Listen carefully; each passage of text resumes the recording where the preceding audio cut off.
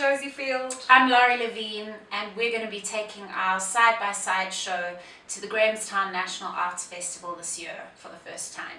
So we thought we'd give you a sneak peek.